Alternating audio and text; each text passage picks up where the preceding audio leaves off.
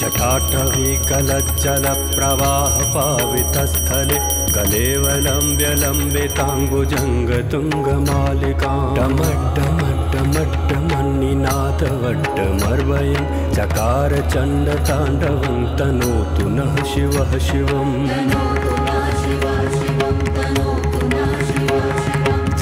ಕಟಾಹ ಸಂಭ್ರಮ ಭ್ರಮನ್ನಿಲಿಂಪ ನಿರ್ಧರಿ ವಿಲೋಲ ವೀಚ ವಲ್ಲರಿ ವಿರಾಜಮಾನ ಮೂರ್ಧನಿ. ಧಗ ಧಗ ಧಗ ನೀವೆಲ್ಲ ಈ ನರಕ ಚತುರ್ದಶಿಯ ದಿನ ನಮ್ಮ ಮಠಕ್ಕೆ ಬಂದಿದ್ದು ಒಳ್ಳೆಯದಾಗಿ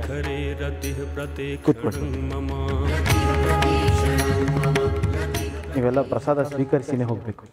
ಆಗ್ಲಿ ಬುದ್ಧಿ. ಆಗ್ಲಿ ಬುದ್ಧಿ. ನಾವಿಲ್ಲಿರೋದೇ ನಮಗೆಲ್ಲ ಭಾಳ ಸಂತೋಷ. ಹಾಗೆ ಈ ದಿನದ ಮಹತ್ವನು ತಿಳಿಸಿ ಬುದ್ಧಿ. ಹೌದು ಬುದ್ಧಿ. ಅದು ಇಲ್ಲದೆ ಇದ್ರೆ ಏನೋ ಕಳ್ಕೊಂಡ ಹಾಗೆ ಅನುಭವ ಆಗುತ್ತೆ. ಹೌದು. ಹಬ್ಬದ ಪೂಜೆ ನಂತರ ಬುದಿಗಳು ಹಬ್ಬದ ವಿವರಣೆ ಕೊಟ್ಟರೆ ಅಷ್ಟೇ ಸಮಾಧಾನ. ಇವತ್ತು ನರಕಾಸುರನನ್ನ ಶ್ರೀಕೃಷ್ಣ ಸಂಹಾರ ಮಾಡಿದ್ದೀನಿ.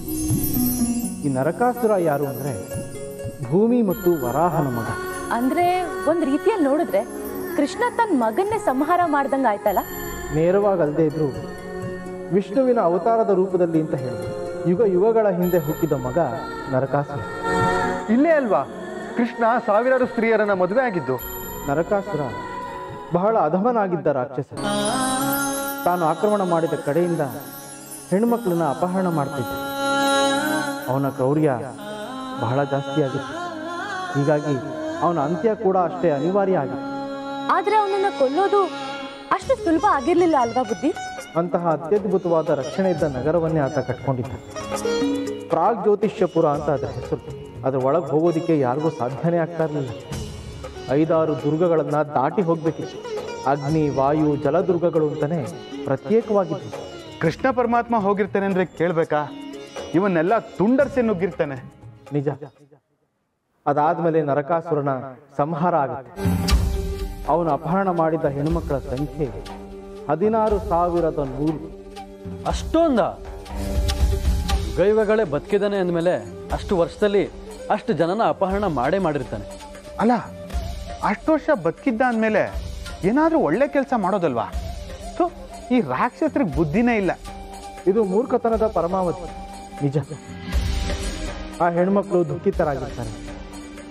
ನರಕಾಸುರನ ಶೋಷಣೆಗೆ ಒಳಗಾಗಿರ್ತಾರೆ. ಕೃಷ್ಣ ಅವ್ರನ್ನೆಲ್ಲ ಕಾಪಾಡಿರ್ತಾರೆ ನಿಜ.